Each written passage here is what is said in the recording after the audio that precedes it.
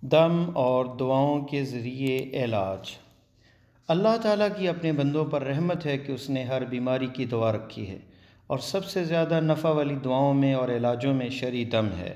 قرآن و سنت سے ثابت دعاؤں کے ذریعے اور سب سے بڑا دم قرآن کے ساتھ ہے۔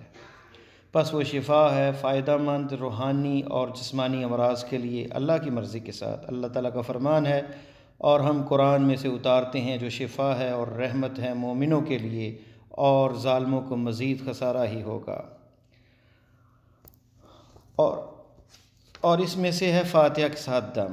نبی صلی اللہ علیہ وسلم کے زمانے میں کسی آدمی کو کسی چیز نے ڈس لیا۔ بس اسے ابو سعید خدری رضی اللہ تعالیٰ عنہ نے سورہ فاتحہ کے ساتھ دم کیا اور وہ ٹھیک ہو گیا۔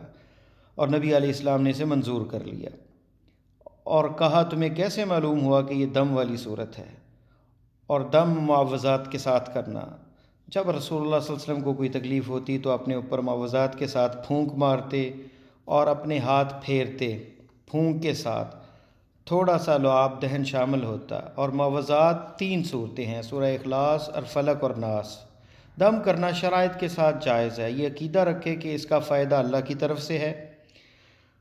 جس کا معنی سمجھ آتا ہو اور منتروں سے نہ ہو اور شریعت کی مخالفت نہ ہو، جیسا کہ جن وغیرہ سے مدد مانگنا کیونکہ شرک ہے۔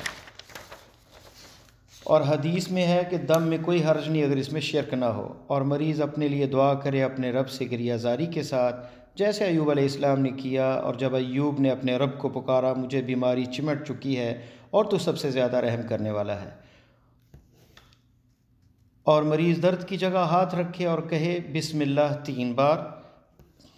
پھر کہے، سات بار، اعوذ باللہ و قدرتی ہی من شر ما اجید و احاذر۔ اور انسان دم کرے جو اس کے گھر والوں میں مریض ہو اور اس کے لیے دعا کرے۔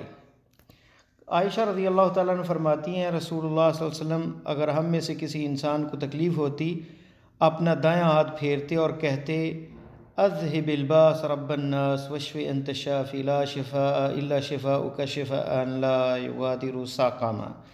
اور بیمار پرسی کرنے والا والے دعا کریں مریض کے لیے، یہ سب سے مفید علاج ہے۔ نبی صلی اللہ علیہ وسلم نے فرمایا، کوئی بھی مسلمان بندہ کسی مسلمان کی تیمارداری کرتا ہے اور اس کی موت کا وقت اگر نہیں آیا، تو یہ کہتا ہے سات بار، اصل اللہ العظیم رب العرش العظیم یشفیق تو اللہ اسے شفا دیتے ہیں۔ بس لازم پکڑیں شری دم اور نبوی دعاؤں کو، یہ سب سے مفید دعا ہے۔